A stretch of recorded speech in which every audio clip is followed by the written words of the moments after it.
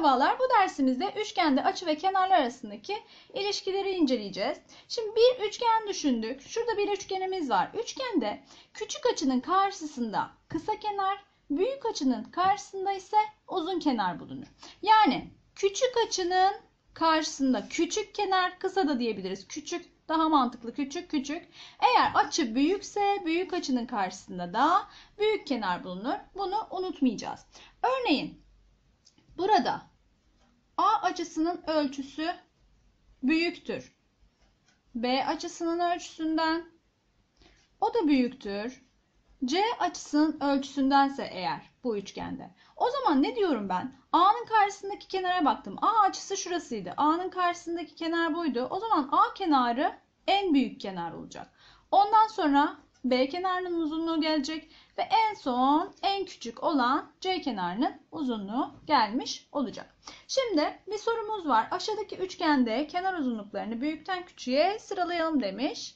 Peki ne biliyoruz? 2 adet açıyı biliyoruz. 2 adet açıyı biliyorsak 3. açıyı da hesaplayabiliriz. Ne yaparız?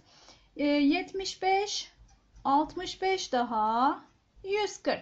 180'den 140'ı çıkardı. 40 kaldı. Dolayısıyla buradaki açı da 40 dereceymiş. Şimdi ne yapıyorum? Şuraya E kenarı diyeyim. E'nin karşısına küçük E, F'nin karşısına F, D'nin karşısına küçük D dedim. Şimdi en küçük açı hangisi? Şu D açısı değil mi? Dolayısıyla D açısının karşısındaki kenar en kısa kenar yani küçük kenar olacak. O zaman D küçüktür. Neyden? 40'tan sonra 65 geliyor. 65'in karşısında E uzunluğu var ve 75'in yani en büyük açının karşısında en uzun kenar olacaktı. O zaman o da F kenarıdır. Büyükten küçüğe demiş tabii ki. Şöyle yapacağız. F büyük, E büyük, D şu şekilde büyükten küçüğe sıralamış olduk. Şimdi de tam tersi aşağıdaki üçgende açıları büyükten küçüğe sıralayalım demiş. Açıları sıralamak için de ne yapacağız? Bu sefer de uzunluklara bakacağız. Şimdi küçükten büyüğe dediğine göre en küçük yani en kısa kenar burada hangisi? Şu K açısının karşısındaki kenar en kısa kenar. Buna K kenarı dersek eğer o zaman ne yaparız? K kenarı küçüktür Buna M'nin karşısındaysa M kenarı diyelim. M kenarından ve L'nin karşısındakine L kenar diyelim. L kenarından. Dolayısıyla biz açıları sıralarken ne yapacağız? O zaman K açısı K açısının ölçüsü küçüktür. Daha sonra M açısından çünkü daha sonra M kenarı geliyordu ve o da küçüktür. Neyden? L açısı zaten görselde de görülüyor en büyüktür. Bu şekilde bulmuş olduk. Diğer sorumuza baktım. Aşağıdaki üçgende kenar uzunluklarını büyükten küçüğe sıralayalım demiş. Yine şimdi burada ne vermemiş bize? Kenarları hiç vermemiş. E, açıları da bu şekilde vermiş. O zaman ben ne yapacağım? Buradan açıları hesaplamaya çalışacağım. Ben üçgen iç açıları toplamanın zaten 180 olduğunu biliyorum. O halde ne yapacağım? x artı 20 3x eksi 30 ve 2x artı onu öncelikle bir toplayacağım ve 180'e eşitleyeceğim. Şimdi burada 20 artı 20 eksi 30 eksi 10 yapar. Eksi 10 artı 10 daha 0. Yani burada bir şey kalmadı. x 3x daha 4x 2x daha 6x. Dolayısıyla 6x neye eşitmiş? 180 dereceye. O halde ne yaparım? Her iki tarafı 6'ya böldüm. Şunlar gitti. x eşittir 30'muş. Şimdi buradaki x 30 ise eğer şuraya 30 koydum. 30 artı 20 bu açı 50 derece oldu P açısı. Peki 30'u buraya koydum. 3 kere 3 9 90. 90'dan 30 çıktı. Şurası 60 derecelik bir açıymış.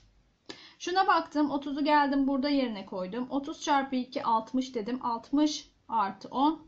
Burası da 70'miş. Şimdi açıları bulduktan sonra benden neyi istemişti? Kenar uzunluklarını büyükten küçüğe sıralayalım. O zaman büyük açının karşısında uzun kenar olacaktı değil mi? Büyük açımız şurası. Hemen bunun karşısına baktım. Şurası R açısı dediğim için buraya da R diyeyim. O zaman R en büyük kenardır. Ondan sonra 60 derecelik bir açım var. Şurası S açısı. O zaman şurası S kenarı olsun karşısı büyüktür S'den. Daha sonra ne kaldı? Şurada P açısı vardı. Bu da P kenarı olsun. O da büyük. P'den bu şekilde büyükten küçüğe sıralamış olduk. Diğer sorumuz aşağıdaki üçgende verilenlere göre en kısa kenarı bulalım demiş. O zaman biz açılara göre iki üçgenden iki adet bağıntı elde edelim. Ondan sonra buna göre en kısa kenarı hesaplayalım. Şimdi BCD üçgenine bakalım. Bir açısı 60, diğer açısı 70'miş. 60, 70 daha 130. 180'den çıkardığımda 50 kaldı.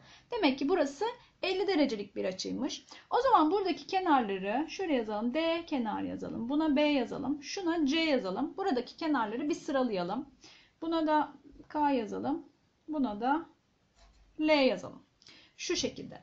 Şimdi nedir? En küçük açı. En kısa kenarı istiyor zaten. En küçük açı burada bu. Demek ki buradaki en kısa kenar şu. C küçüktür. Daha sonra 60 derecenin karşısındaki kenara baktım. B. O da küçüktür. Buradaki en uzun kenar 70 derecenin karşısındaki kenar yani D. Şimdi diğer üçgene baktım. Diğer üçgende 85 ve 65 derecelik bir açı var. 85, 65 daha 150. 180'den çıkardığımda 30 kaldı. Demek ki burada 30 derecelik bir açı var. Dolayısıyla buradaki en kısa kenar bunun karşısındaki kenardır. O zaman ne yapıyorum? L küçüktür. Daha sonra 65 geliyor. C o da küçüktür. K uzunluğundan diyorum. Şimdi baktım buradaki en kısa kenarı nasıl bulurum? Bu üstteki bağıntıya göre en kısa kenar hangisidir? C kenarıdır. Şu kenardır. Ama diğer bağıntıyı kurduktan sonra L kenarının ondan daha küçük olduğunu gördük. Demek ki bu iki bağıntıdan elde ettiğimiz en kısa kenar o halde L kenarıdır dedim. Şimdi diğer sorumuza geldik. Aşağıdaki üçgende verilenlere göre en uzun kenarı bulalım demiş. Fakat bize üçgende sadece bir dik açı vermiş ve başka hiçbir şey vermemiş. O zaman nasıl bulacağız? Şimdi bunu unutmuyoruz. Bir dik üçgende en uzun kenar dik açının karşısındaki şu kenardır. Diğer açılar çünkü neden? Diğer açılar ondan daha küçük olacaktır. Burası örneğin 45 45 oldu. Ondan büyük oldu. En fazla 75 oldu. Burası kaç oldu? 15 oldu. 90'ı tamamlıyorum. Bakın her halükarda 90'dan küçük açılar vermek zorundayım. Peki buraya 89 verdim ve 1 verdim. 90, 90, 180 oldu. Her halükarda 89 versem dahi 90'dan küçük bir açı elde ettim ve o halde ne diyorum? Bu kenarlar şu kenar ve şu kenarda her halükarda 90'ın karşısındaki şu kenar uzunluğundan kısa olacağı için dik açılı bir üçgende en uzun kenar yazalım. Dik açılı üçgende en uzun kenar dik açının karşısındaki kenardır. Bunu unutmuyoruz. Yani en uzun kenarımız burası M açısı olduğuna göre M kenarıdır demiş olduk. Dersimiz bu kadardı. Dinlediğiniz için teşekkür ederim.